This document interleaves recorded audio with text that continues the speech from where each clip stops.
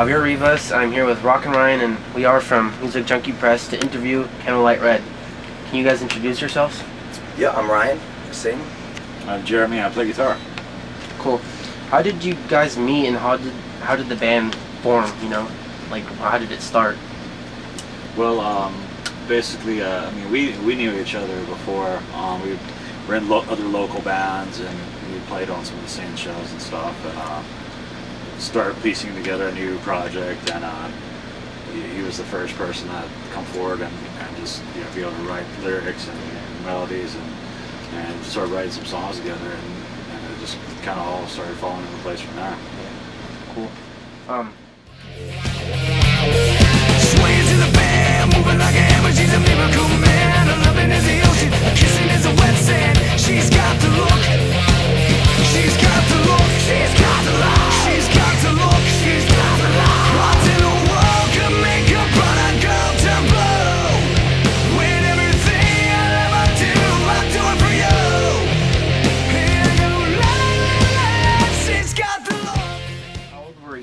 when you first started getting into music, and like when you how old were you guys when you started playing your first instrument instruments? Uh, I was a little later. I started guitar when I was like 15. And uh, got a job playing bass in a band and then ended up singing. I've sang my whole life. But I didn't really have it, didn't know, I didn't know it was my calling, if you will. Till I I think I got my first guitar when I was nine. I think my sister was taking guitar lessons, so I wanted to take it too. So I always was always heavily into music, and you know, once 12, early teens, started really getting into it. And In high school, I started, you know, trying to get into bands and stuff, and Yeah. playing parties. And actually, I think I played my first bar when I was like 16. And you probably did too. You? Yeah, yeah. I was playing bars when I was 15, 16. A lot of places didn't want to let me in. I was so young. Yeah. you guys remember what was your first concert? Yeah, I think so. Um, mine was actually, I saw one of the incarnations of uh, Black Sabbath with Dio. Um, that was one of my favorite first concert. Jeez. I was like Yeah, a Slipknot corrupted. concert or something. Slipknot. Yeah, they're cool. Both ways to well, it was- it was like Slayer, Slayer, and Sepultura, all those bands. Did you see any Tattoo the Earth or something like Yeah, yeah. that? Yeah, yeah. My first one, actually. First big concert. What was the um what was the craziest thing that's happened on tour so far? Can't tell you. No. Uh, If I tell you, I have to get you. it's just there's a, it's never ending Yeah. stuff you see on the road. You know, day to day, especially with eight guys living together. You know, it's like a it's like a rolling fraternity down. there. So it's it's a lot of pranks. It's a lot of stupid stuff that we do. Every Yeah, city's muscle different. us. Yeah. Yeah, it's it's crazy. There's too many to name, I guess. All right. Can you guys tell us who writes the music and, and especially about the song Demons and how that came out? Uh, well, you can. I guess you can talk about the music portion. Well, yeah, of I mean, I think the music started out. I mean, it was almost like in the very beginning it was almost like all me because we were just trying to demo stuff and get stuff done, you know. And he'd come in and write the lyrics and the melodies and vocals over it. And now it's more of like a just amalgamation where just everybody just throws in. You know? Like sometimes he'll pick up a guitar and, and throw some stuff out, and then you know, so we all kind of do that. But still, mainly uh, he does most of the lyrics and, and vocal writing. Jamie wrote a song though lyrically and on the new record that's coming out. Yeah, but he, he we try to like let him do most of the lyrics because it's almost like he has like a, a certain way of a theme. You know, if you listen to our stuff, the, the, the lyrics have a certain feel to them. I guess you could say.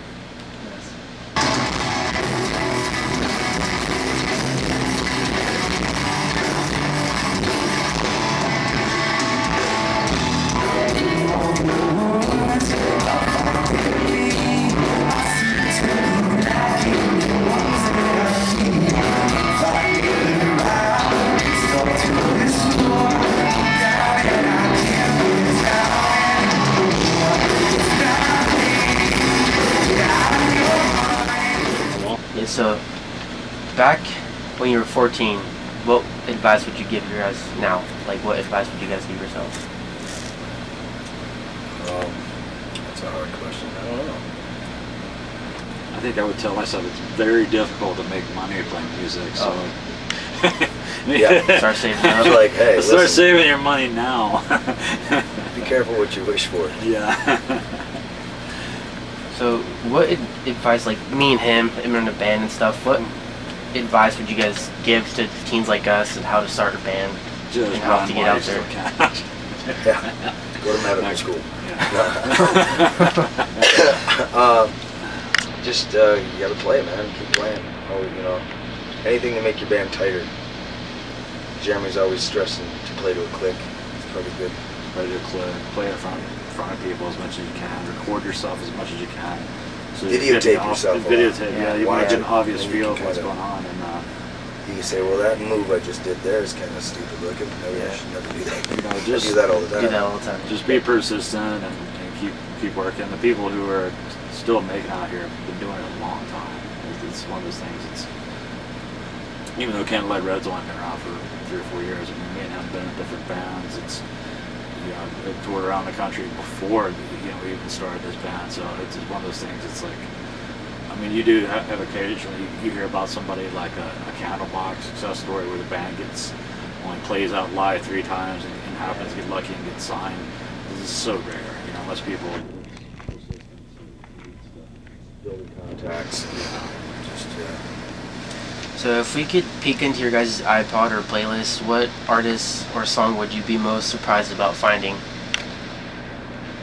in mine, Or we? In my uh, iPod would probably be uh, E.T., Katy Perry. probably the weirdest thing that's in mine. Probably the weirdest thing you find in mine would probably be like I have like all four Fiona albums. That is really weird. yeah. Well, when she You're out was of the younger, band. I had You're a out of the little, band. when she was younger, I had a little fixation on her, but now it's just. Uh, But it's still, it's a very sexy voice. So sometimes if you're like trying to fall asleep, you don't. You can listen to metal all day. You don't want to necessarily like yeah. listen to like freaking Slayer when you're trying to chill out. You know? And of course, this is my kind of my favorite question. If Candlelight Red was a new ice cream flavor, what would it be and why? I have no idea. Ice cream flavor.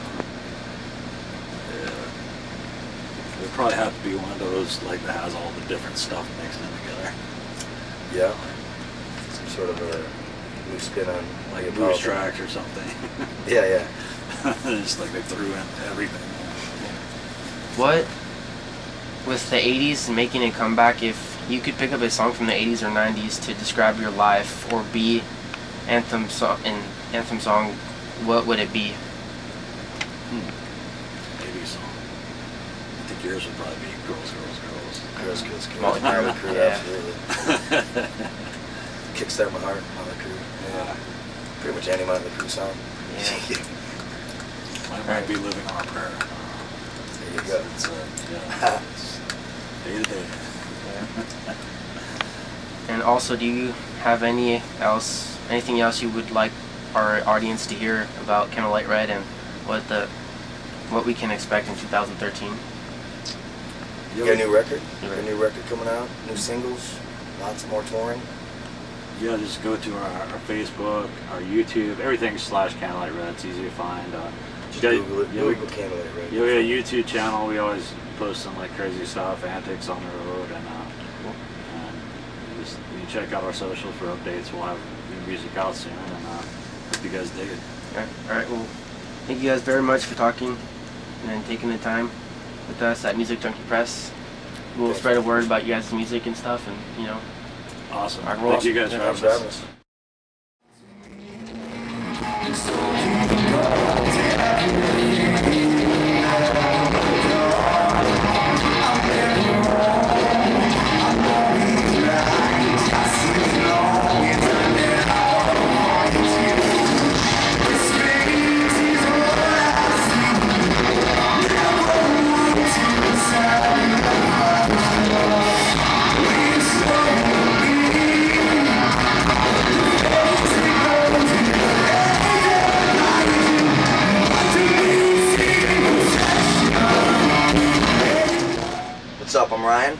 Jeremy. More from the band Candlelight Red. If you're addicted to music, get your fix at Music Junkie Press. Oh,